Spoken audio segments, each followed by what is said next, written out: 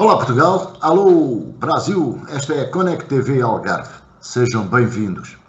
Este é o programa 124 dos fanáticos do Algarve. Hoje vamos abordar o futebol algarvio, com destaque para o CP, o Farense e o Portimonense. Os fanáticos de hoje são o Carlos Encarnação e o Tony Surumé. Encarnação, agora vamos para a Primeira Liga e para o Farense. Na quarta jornada, o Farense regressou a casa com uma derrota por 1-0 frente ao Famalicão. A expulsão de Muscat condicionou, mas não justifica tudo. São três pontos em 12 possíveis. Comentário. Olha, eu até vi um bocadinho de água porque isto realmente a Primeira Liga é daquelas coisas que já me está a deixar, já me está a tirar do sério. E logicamente que um, tu estás a rir. Eu, eu, eu, no último programa falei aqui de uma situação e, e provavelmente quando acabei o programa pensei, epá, eu provavelmente teria, se calhar me um bocadinho mais do que aquilo que devia ter dito. Uh, e depois não tive o cuidado de ver o programa, que é aquilo que costumo fazer uh, quando, quando o programa vai para o ar. Mas este fim de semana fiquei com consciência, tu que aquilo que disse foi muito pouco em relação àquilo que devia ter dito. Sinceramente porque é, é, que isto, é que isto é mesmo para rir. É, é, eu, escrevi, eu escrevi nas minhas redes sociais isto, é que isto realmente é mesmo para rir, porque para chorar não vale a pena. É que não vale a pena. Isto, estamos, agora, desculpa, é os frames. Agora, antigamente, era as linhas estavam tortas. Agora, é os frames que, que a Sport TV manda para o VAR. O que me leva a crer, e se eu não tinha dúvidas, que o gol que foi anulado ao Farense na primeira jornada aqui no Estado São Luís, marcado pelo Rui Costa, não estava em fora de jogo. Ponto. É simples, feito ao Casa Pia. Disse-o aqui e volto a dizer, e agora subscrevo cada vez mais. Quando venho saber que a desculpa das linhas, e aconteceu com o Oliveirense na segunda liga, são os frames que a Sport TV manda. Epá, isto, não se pode brincar ao futebol. É que nós não podemos andar aqui a brincar ao futebol. E andamos a brincar ao futebol. Quando um árbitro está a 20 minutos de compensação e o, o tempo que é jogável é 23 minutos, andamos a brincar ao futebol. Basta ver a imprensa europeia, como eu vi, Inglaterra, Espanha, França, Alemanha, hum, Bélgica, o que dizem de nós é que isto é triste. Epá, é muito triste. Eu, eu, eu, como homem do futebol, que eu sou, que eu sou, e tenho que admitir que eu sou, para mim é uma tristeza. Muito sinceramente é uma tristeza. E depois, tudo aquilo que se passa dentro das quatro linhas atualmente já me vai deixar com dúvidas. Eu, quando estiver a ver um jogo de futebol, seja ao vivo, seja na televisão, eu, quando ver aquelas linhas, já não vou acreditar naquelas linhas não posso acreditar. Como eu, provavelmente o Tony, provavelmente tu, provavelmente muitas daquelas pessoas que veem futebol e gostam de futebol e que acreditavam no VAR. O Conselho de Arbitragem não pode vir agora justificar-se, como eu li há dias, que afinal o problema da linha do Oliveirense foi o frame que foi enviado e, epá, por amor de Deus, não, não, não, não, brinquem, não brinquem com o futebol. Volto a dizer, somos um país que fomos campeões europeus recentemente, campeões europeus, campeões do mundo em futsal. Palidem, não podemos andar a brincar com isto, mas alguém tem que assumir as responsabilidades. Não podemos depois andar aqui a mandar piropos ao Presidente da Federação Espanhola com cenas que nem sequer nos pertencem, como o Sr. Pedro Provença tem mais se preocupar com o futebol português do que pensar se ele deu um beijinho, foi mal dado, foi bem dado, foi de frente, foi de trás. Pá, isso não nos diz respeito. Isso não nós temos que ver o futebol português de uma forma séria. O mal do vizinho podemos nós. E aqui em Portugal a gente não consegue pôr um... É que todos os anos, eh, Emílio, não há uma jornada, não há uma jornada que não se fale nisto. É que não se fala nisto. Depois as desculpas que era... Que era Epá, é assim, o telemóvel está no protocolo. Aquela situação, já agora esclarecer aqui os nossos, os nossos eh, do nosso programa, quem nos está a ver e quem nos está a ouvir, aquela situação, nessa situação do, do, do telemóvel que me preocupa, essa situação do, do telemóvel está no, está registada no, no, protocolo como é uma das eh, situações que o, o, árbitro pode recorrer quando há falhas de comunicação. Ponto. Não há volta a dar. Está lá, está protocolado, os clubes sabem, nós sabemos, toda a gente sabe. Agora, o que me faz espécie é como é que um jogo vai para 20 minutos de compensação nem é 20 minutos, é mais dois. Eu não vou dizer aquilo que disse no último, no último programa porque vou cair no ridículo. E eu uh, não gosto de ser ridículo. Portanto, há que repensar, há que repensar, há que repensar. Não é porque isto são, oh Emílio, isto são assuntos uh, que nós temos que debater de uma forma séria que o governo tem que pôr mão nisto. A o, Secretário de Estado do Desporto, ou o Ministro do Desporto, não sei quem é que tutela isto, se é um Secretário de Estado, se é um Ministro, tem que pôr aqui um ponto ali à mesa. E prepara-te que, este, prepara que este ano, esta época, vai ser todas as jornadas isto. Mas, já estou, mas, mas, mas, mas já há coisas que têm que haver aqui, tem que haver aqui um ponto ordem à mesa e tem que perceber. Porque os clubes investem milhões, milhões. O Farense gastou, gastou 200 mil euros, 200 mil euros, para criar condições que a Liga pretendia para a primeira divisão. Vou repetir, 200 mil euros. Portanto, não andamos aqui a brincar ao futebol. Pá, são 200 mil euros nem que fosse 10 euros. Não andamos aqui a brincar ao futebol para estas palhaçadas de 8 em 8 dias, no estádio de futebol português, por esse país fora. Isto há que repensar, há que investimento, os clubes estão a investir. Para quê? Para nada. Pá, e estas coisas, estas coisas, de alguma forma, mexem comigo porquê? Porque altera a verdade, a verdade esportiva. Ponto. Isso é como agora dizer que estou com uma camisola verde quando estou com uma azul e depois me dizer é pá, é do frame, desculpa lá, olha, foi a cor da tua câmara. Tá... Pá, isso não é uma desculpa, só tem uma coisa a fazer, é solucionar o problema. Parece. E isto, e isto não soluciona o problema. Bom, em relação ao jogo, como tu, e voltando agora àquilo que são coisas sérias e, e que são coisas que a gente deve de, de falar, mas eu não, não podia deixar uh, passar a oportunidade de, de, de, dizer isto, porque fiquei um, ridicularizado com aquilo que assisti no último, no último fim de semana desportivo na, na, na Primeira Liga. Quanto ao jogo do Farense, penso que, e, e, não concordo um pouco contigo, penso que é, é aquela expulsão para mim um, marca ali um, o volte face do jogo.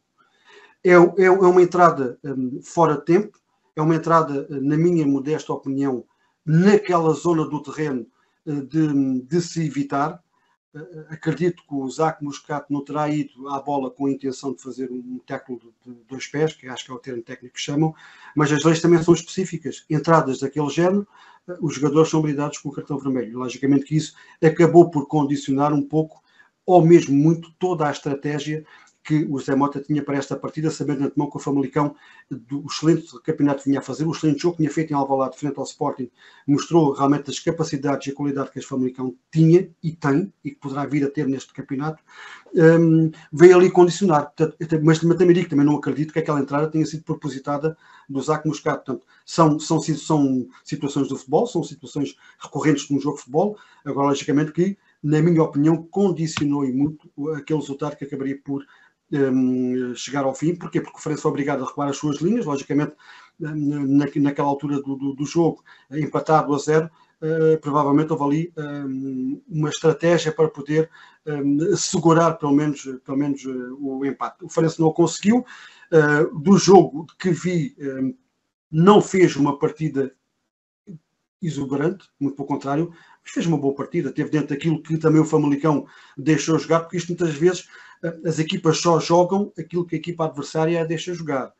E como tal, o Famalicão também, ao ver o jogo que, o Farense tinha feito com os Chaves aqui no São Luís na, na, última jornada, também logicamente, tal como o Farense fez o seu trabalho de casa, o Famalicão também fez o seu trabalho de casa e de forma inteligente anulou ali duas ou três peças fundamentais do Farense, eh, no sentido de não deixar criar aqueles equilíbrios que normalmente nós estamos habituados, que é o caso do Bellamy, eh, também eh, ali a, forma como o Rui Costa se movimenta e muito à procura de, de, de, poder fazer jogar e de aparecer depois um, um, jogador para, para entrar em zona de posição de remate. Portanto, tudo isso também condicionou um pouco, logicamente depois com a expulsão e volto a dizer, não acredito que tenha sido uma, uma, expulsão de propósito para, para que o Farense perdesse, mas foi, foi, uma, foi, uma, foi uma, uma, uma falta despropositada numa zona do terreno e numa jogada que não tinha qualquer tipo de, de, de índice de, de, poder trazer perigo, muito pelo contrário. Eh, portanto, penso tudo isso condicionou a ação do Farense, mas eh, reparo que a equipa de, de jogo para jogo vai subindo um, a sua qualidade, com a qualidade do seu fio de jogo, as suas dinâmicas. Logicamente que há, há que ter aqui atenção que isto é uma primeira divisão, não é uma segunda liga. Muitos jogadores que ali estão, e não estou a querer repetir aquilo que o Zé Mota diz, mas também a visão que eu tenho dos anos de futebol que vou vendo e vou-me percebendo, muitos daqueles jogadores não têm ainda aquele índice competitivo de primeira liga e que logicamente que quando vão amadurecendo e vão se encaixando, as coisas vão começando a tomar as rédeas e, e, a melhorar. E eu penso que o Farense está no bom caminho para poder, de alguma forma, um, fazer um campeonato tranquilo. Um, e penso que este jogo já mostrou algumas melhorias em relação àquilo que se viu, pelo menos nas jornadas anteriores, desde o jogo do Porto para cá, que o Farense, na minha opinião, tem vindo a subir de produtividade e de qualidade. Sermanho, Famalicão, Farense. Jogos muito disputados. O fator casa aqui muitas das vezes a ter aqui uma preponderância enorme. Um, e pronto, um Farense que, que vai bater-se todos os jogos para pelo menos ganhar um pontinho fora e em casa no São Luís, onde realmente é muito forte, tentar materializar e conquistar os pontos necessários para a manutenção. Penso que o Carlos tem um conhecimento muito mais pormenorizado do que eu, que acabei só para ver um bocadinho do resumo do jogo, uh, mas uh, acho que fez um relato perfeito, um resumo perfeito daquilo que, que, que foi o jogo mas pronto, sempre com muita esperança que este Farense nos possa dar aqui também algumas alegrias a nós todos algravios, materializando e fazendo o máximo de pontos possíveis no São Luís e batendo-se sempre fechadinho em, em, transição em alguns jogos fora para tentar de alguma forma ganhar alguns pontos. Hum, a estratégia, como o Carlos disse, acabou por não resultar muito por, por conta dessa, dessa expulsão mas uh, penso que deixou uma boa imagem e que houve uma melhoria, uma continuidade em relação ao processo de crescimento da equipa. Declaração. Vamos continuar no Farense e para falar no regresso à primeira divisão do Sub-19. Os Júniores do Farense estão na liderança, juntamente com o Benfica, com um pleno de 12 pontos e 100 golos sofridos. Comentário.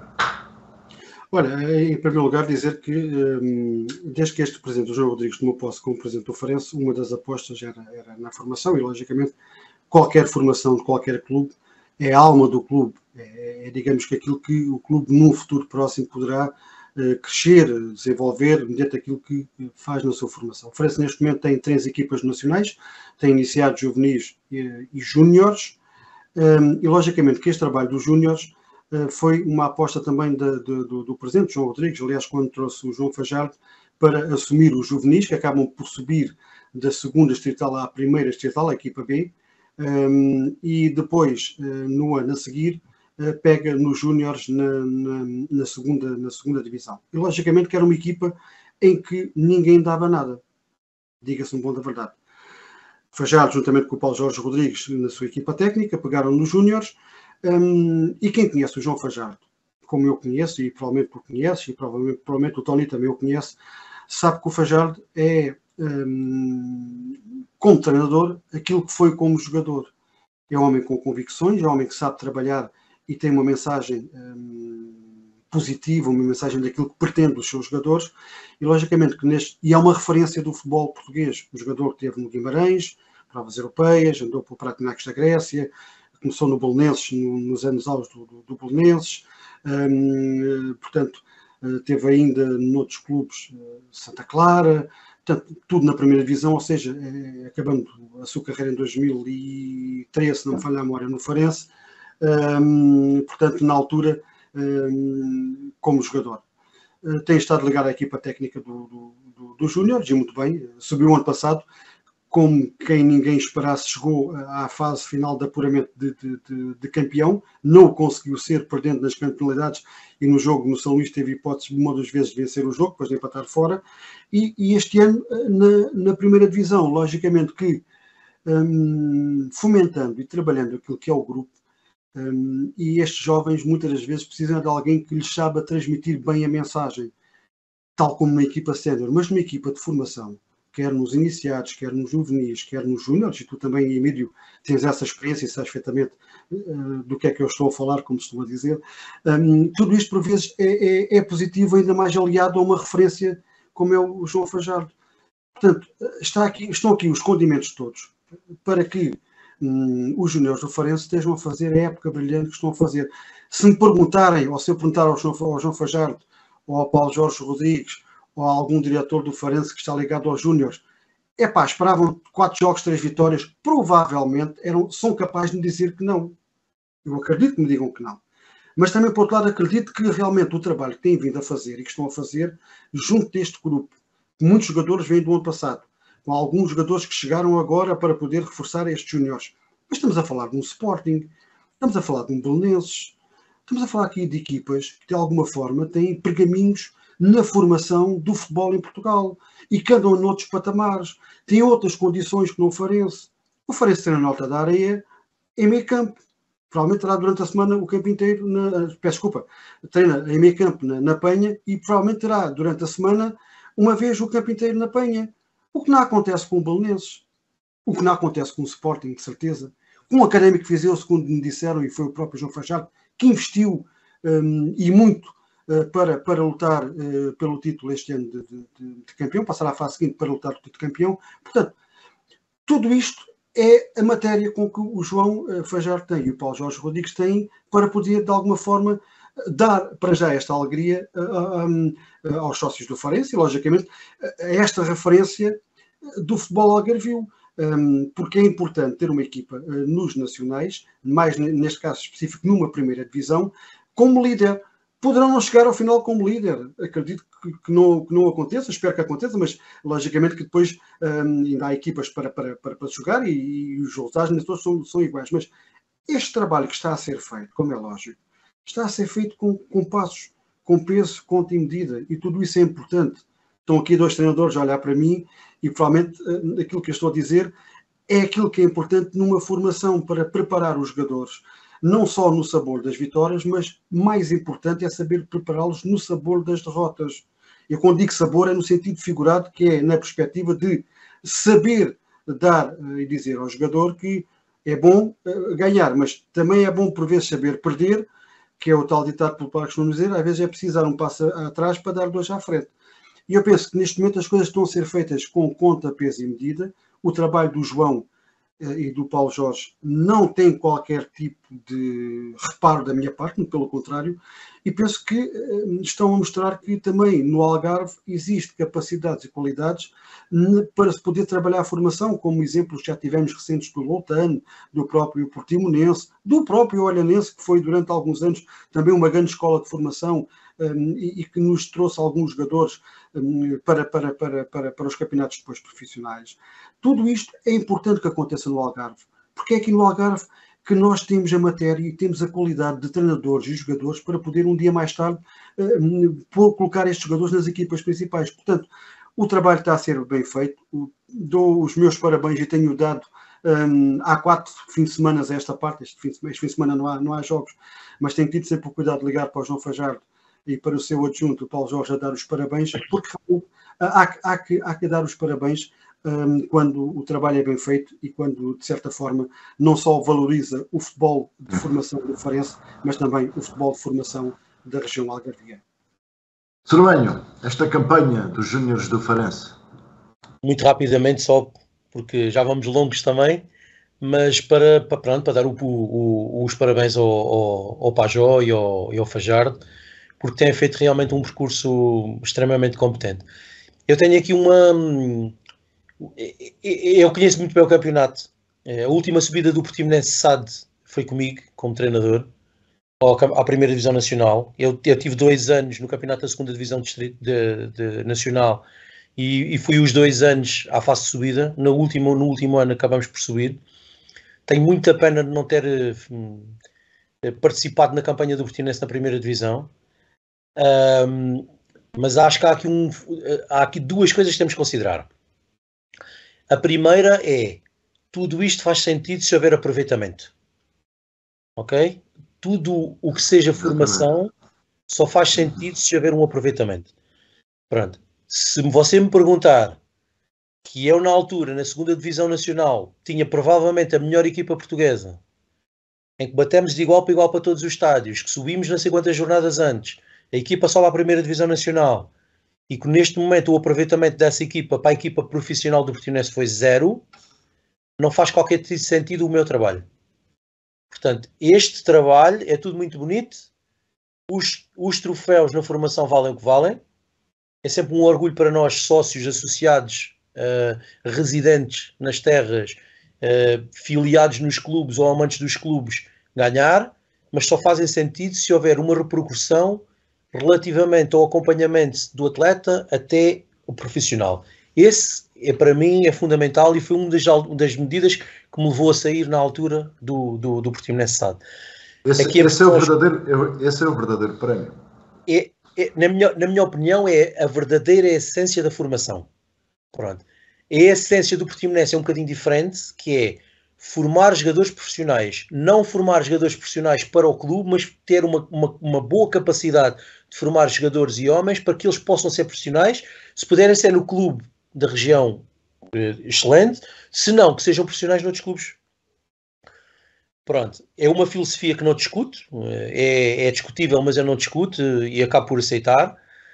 Uh, depois temos que ver aqui uma outra situação, que é os campeonatos de Júnior sub-19 na minha opinião, perderam um bocadinho de qualidade. E porquê? Com o aparecimento das equipas de sub-23. Os melhores sub-19 são titulares nas equipas de sub-23. E alguns deles treinam frequentemente e como profissionais nas equipas de sub-23 e são chamados, alguns deles com qualidade, às equipas profissionais. Vejamos o caso mais flagrante do João Neves. Júnior do Benfica, sub-19 do Benfica, titular indiscutível na equipa de sub-23, apanhou uma, uma oportunidade como júnior sub-19 na equipa principal do Benfica e conseguiu, neste momento, o estatuto que tem. Portanto, isto porque o ano passado nenhum dos três grandes foi campeão do sub-19. Isto não tira qualquer valor à campanha que o Farense tentado fazer. Fabuloso. Uma vitória com o Benfica, excelentes resultados, um, pá, fabuloso, um trabalho incrível, conseguiu reunir um bom grupo de trabalho, tem uma equipa muito competitiva, com uma, uma equipa técnica muito competente e que tem feito um trabalho que nos orgulha a todos nós. Mas há esta nuance aqui. Muito bem. Vamos continuar na Primeira Liga e vamos para Portimão.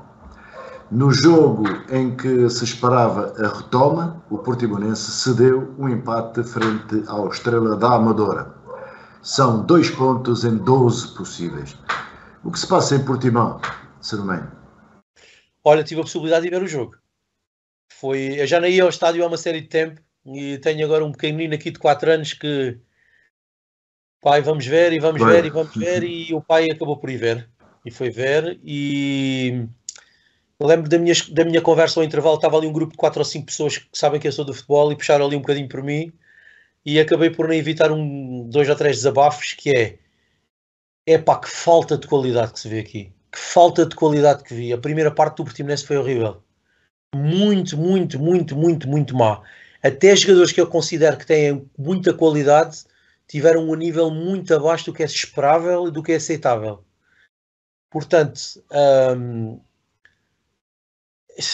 olha, não sei se o gol, uh, o primeiro, o, o, facto do Estrela da Amadora ter marcado primeiro se condicionou e de alguma forma intranquilizou a equipa do Portimonense. O que sei é que um bom guarda-redes, que foi o primeiro jogo que fez, dois laterais, um lateral direito que caiu no guto das pessoas de Portimão e que veio de não sei de onde, do Brasil, mas cada vez que tocava na bola era uma festa. Um jogador com carisma, com alma, o Relvas, que tinha uma proposta para sair por 10 mil e que se exibiu a um nível muito, muito baixo, provavelmente por falta de confiança que tem no alemão, que fez um jogo deplorante, é que eu pensei que ao intervalo ia sair e que se manteve. Muito, muito, muito, muito abaixo daquilo que é exigido por um, um jogador de, da Estalaca de Portimão.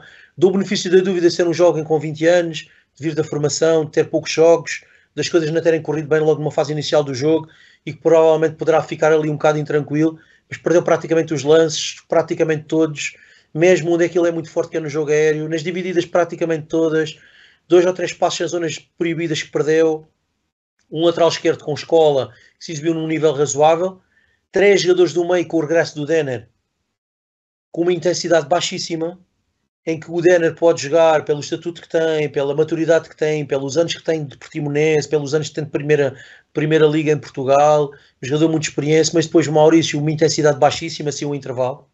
baixíssimo. Um jogador que até eu gostava, que das vezes que vi gostei bastante, Carlinhos com excesso de peso.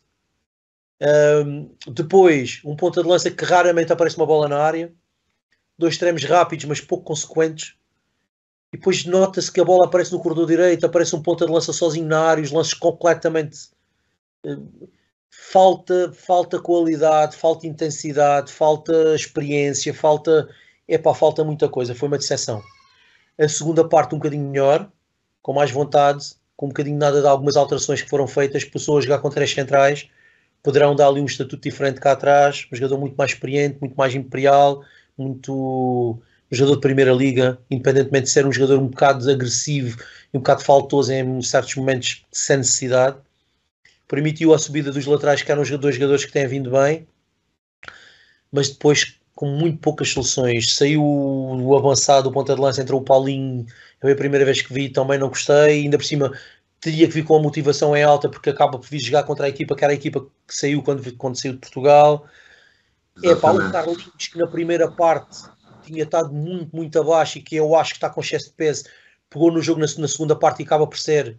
Minhas críticas ao intervalo parece que ele ouviu e acaba por ser provavelmente o melhor elemento da equipa do Portimonense o miúdo, penso que Jasper, que vem com o miúdo sub-19, sub-20, que vem do Reino Unido, fez um bom jogo, atrevido, vai para cima, mas pouco consequente, precisa de crescer e precisa de crescer com vitórias e não com a pressão de ter que entrar e ter que resolver.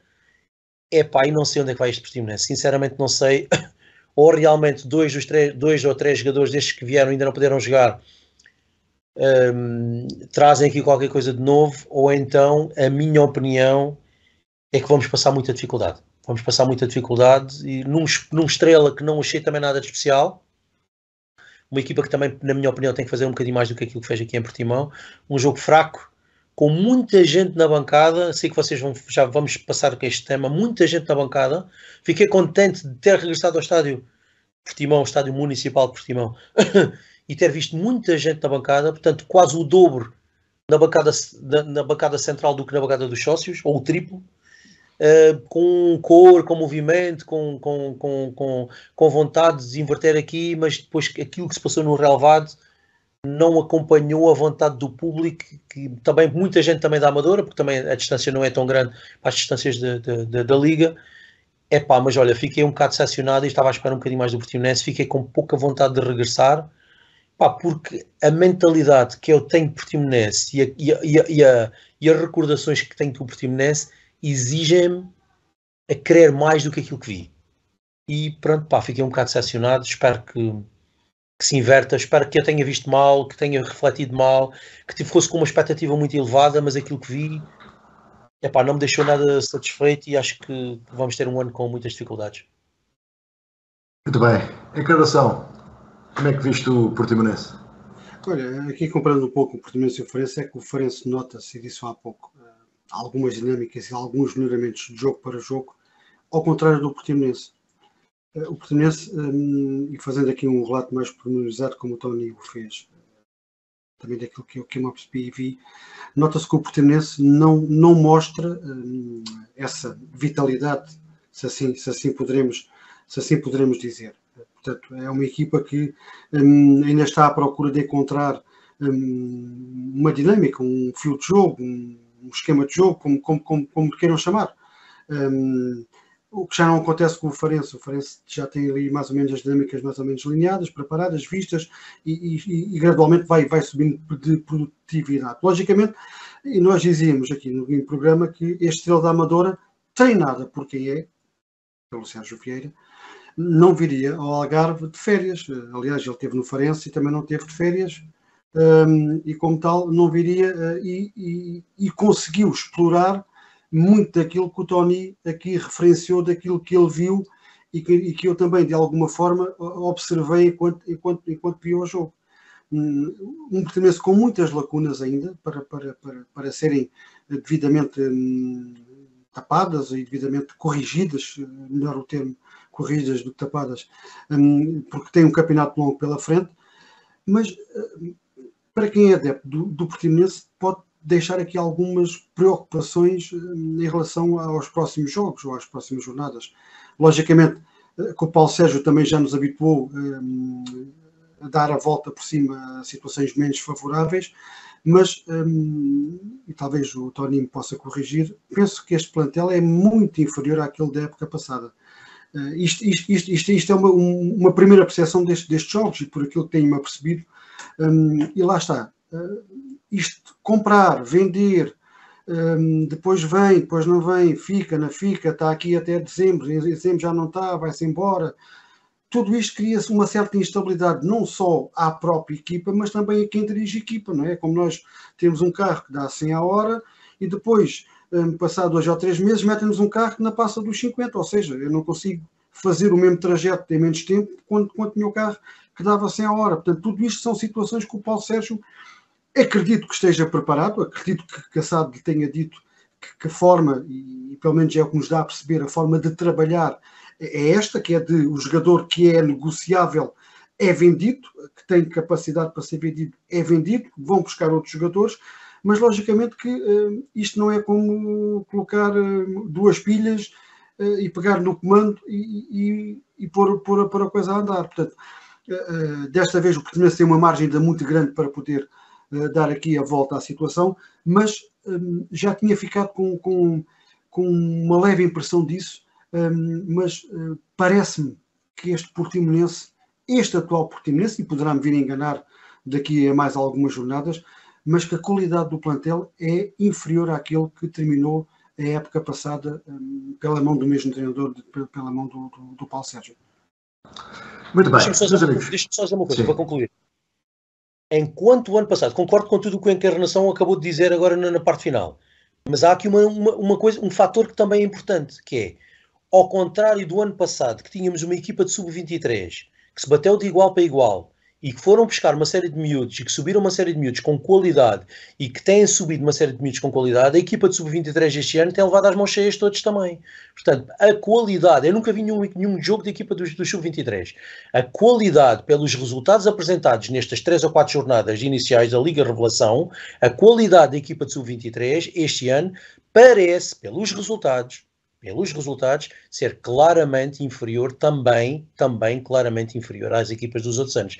Portanto, o viveiro que nos, em anos anteriores, no meio da tabela, no meio do, do campeonato, poderá ter servido e ajudado a equipa principal, neste momento parece que também que a fonte está seca. Muito bem. Vamos uh, fechar o programa com o último tema, ainda relacionado com o Portimonense, que, eh, tal como Vitória de Guimarães, saiu do projeto dos bilhetes com desconto dos eh, vouchers eh, Continente. Portimonense está na cauda das assistências e sucede isso. Qual é a vossa opinião? Sr. Mãe?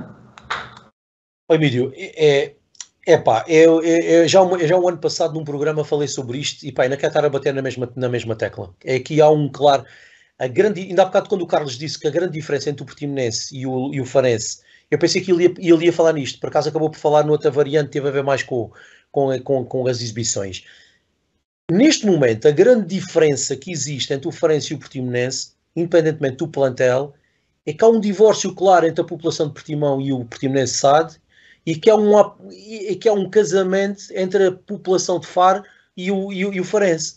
Este, para mim, é, o, é a principal diferença quando uma das principais medidas que temos para combater isso, e uma das, das formas, é esta maneira que o, que, o continente arranjou eh, através da Liga para termos bilhetes mais baratos, acessos muito mais facultados relativamente a, a, às assistências, e quando o Portimonense, quando usufrui um dia disso e tem uma bancada central completamente cheia, eu fiquei nessa bancada central, eu sou testemunha daquilo que estou a dizer e quando se prescinde disso, alguma coisa está mal aqui. Qual é o motivo? Qual é o motivo por trás dessa decisão? Não pode ser só um motivo económico e comunicista. Nós, neste momento, o Portimonense, há meia dúzia de dias atrás, teve um lucro de 10 milhões de euros com a, com a, com a venda de um jogador. Isso não pode ser equacionado. O, o dinheiro de bilheteira que temos neste momento é, é, irrelevante relativamente a um Portimonense SAD. O que é que está por trás de uma decisão destas? Não queremos pessoas no estádio. Isto é uma medida para levar pessoas ao estádio. Isto é uma medida para aproximar a população de Portimão ao Portimonense. Não consigo perceber, é uma coisa completamente irrisória, como muitas outras que se têm passado no Portimonense SAD. Portanto, há aqui coisas que ninguém consegue responder. As pessoas estavam contentes. Muita gente entrou com os bilhetes do continente.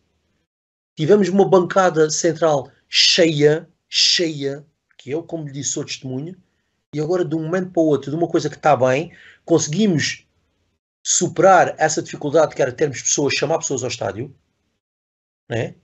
Agora, de um momento para o outro, conseguimos as coisas e agora não queremos.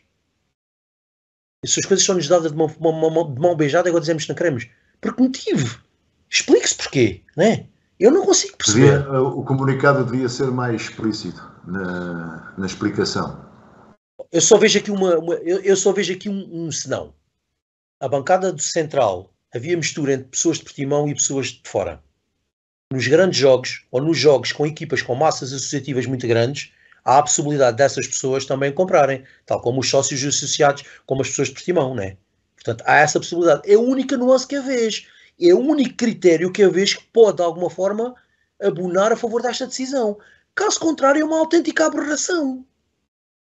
Na minha opinião como muitas outras, como muitas outras que existem no Portimonense. Portanto, há aqui um divórcio claro, esta medida aproximaria, havia muitas pessoas ao mesmo lado da minha geração, pessoas do futebol portimão, me disseram a mim que também não iam, não, não, não vinham ao futebol há não sei quanto tempo, que aproveitaram esta oportunidade em relação à parte monetária e queriam se aproximar, e que agora com esta medida provavelmente não vão fazer. Os bilhetes já são caros. É preferível a gente ganhar uma porcentagem mínima em relação aos bilhetes, mas termos a casa cheia, que é uma alavanca, é um, um, um motor proporcionante para a exibição da equipa do que termos estádios vazios, com a, com a, a lotação que tivemos, de, de, de, provavelmente uma das mais fracas da, da, Liga, sem ninguém a apoiar o estádio. O Portimonense, neste momento, é um clube sem sócios, sem simpatizantes. Não venhamos com essas coisas. Portanto, a realidade é essa, e esta é a grande diferença para o Farense. Um jogo do Farense a querer, a alma, a identidade a alegria, as pessoas vão atrás do Portimonense. Você já viu alguma carrinha ir atrás do Portimonense, à exceção de meia dúzia de miúdos daqui que são os marafados ou qualquer coisa assim? Que uma claque que, que, organizada que existe há não sei quanto tempo e que de alguma forma até a própria SAT tirou protagonismo e tirou a autoridade aos miúdos, os miúdos acabaram por se miúdos e graúdos, não tem a ver com miúdos, tenho o máximo respeito por eles e, e, e sou daqueles que apoio. Ninguém vai atrás do Portimonense para lado nenhum. Portanto, o Portimonense neste momento tende a tendência a ser um clube sem sócios, sem simpatizantes, sem... Pá, as próprias pessoas da própria cidade de Portimão acabam por não se identificar com o próprio clube. E isto é uma, uma asneira, porque já vamos também aqui com, com um volume de horário muito mais alargado do que aquilo que pensávamos, mas é pá, uma medida que não, não, não tem cabimento, na minha opinião. Encarnação, uma opinião sobre esta questão do, da venda centralizada de bilhetes? Então, deixa-me só dizer, começando aqui que é importante, o Farense no dia 31 de julho tinha sócios pagantes. Estamos a falar aqueles que pagam, têm as cotas em dia, portanto, provavelmente de lá para cá já deve ter crescido 5.505, 5.510, por aí, 5.500 sócios pagantes, ou seja, sócios com cotas em dia.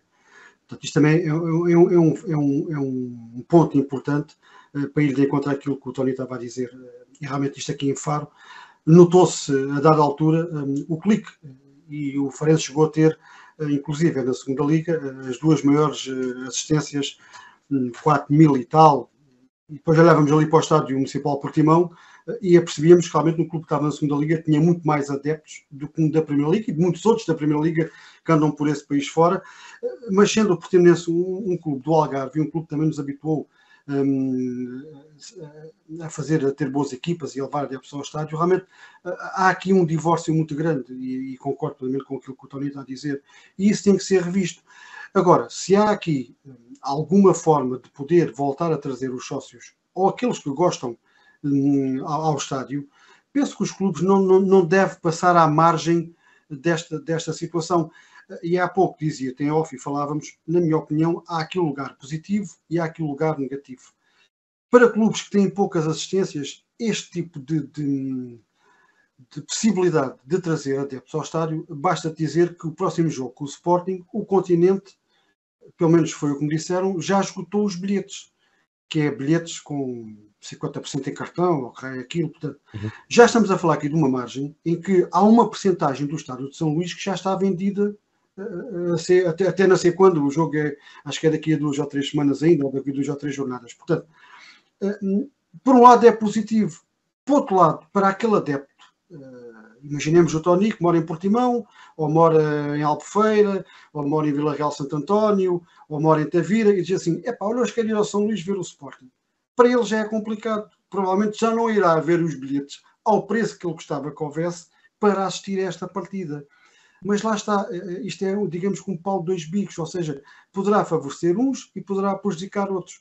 Na minha opinião, e, e mediante aquilo que o Tony disse, é verdade, para os clubes que têm hum, menos adeptos a apoiá-los, é uma fonte de receita extraordinária. Não me perguntem qual é a porcentagem que ganham, eh, o que é que está envolvido nisto, porque tenho um desconhecimento total e daquilo que não sei, não falo nem, nem, nem, nem, nem opino, como costuma dizer, estou a falar a nível de valores. Para aqueles clubes que têm uma dinâmica de sócios, que levam cerca de 4 mil adeptos, que é o que o Farense conseguiu nestes dois jogos eh, em casa que tem, quer com o Casa Pia, eh, um pouco mais também havia a expectativa, regressa à primeira divisão, portanto, tudo isso envolveu também ali uma certa perspectiva por parte das pessoas. Mas depois vê-se a verificar com a derrota, no caso com o Casa Pia, a derrota no Dragão, mas a tal imagem que passou de, de, de, de um, um, retrocesso hum, e do, dos processos estarem mais, mais efetivos e mais visíveis e a equipa estar no bom caminho, voltou a colocar quase 4 mil adeptos no estádio outra vez. Portanto, hum, esta, esta situação dos vouchers do continente, por um lado, para estes clubes também poderá ser positivo. Porquê? Porque em vez de 4 mil, poderão vir a ter 6 ou 7 mil pessoas no estádio. E aqueles que têm uma dimensão pequena de adeptos, poderá ter uma moldura humana, como o Tony há pouco frisou do Portimonense no jogo Vitória, e tem a gente ter vindo à Madura. Portanto, é tudo aqui situações que se terão que ponderar e colocar na balança. Para um poderá ser mais benéfico, para outros mais prejudiciais, mas acredito de antemão que os clubes para terem um, cedido uh, a este tipo de situações entre a Liga e o continente, terão de certeza algo que também irão ser beneficiados a nível das receitas. Portanto, estes bilhetes irão ter alguma contrapartida para os clubes. Portanto, eh, é uma questão de se averiguar. Agora, logicamente, concordo com o Tony, uh, clubes que tenham menos adeptos a assistir, é um grande, um grande, uma grande uma situação benéfica. Para outros, provavelmente irá ter alguma perspectiva de adeptos nos estádios, mas é, é, é, uma situação que terá que ver com o tempo, conforme poderá ou não um, oscilar de, de clube para clube. Muito bem, meus amigos, não temos mais tempo, aliás, ultrapassamos o tempo. Agradeço a vossa, a vossa presença, esperamos que o programa tenha sido do agrado dos nossos espectadores. Nós voltamos na próxima sexta-feira. Boa noite e obrigado.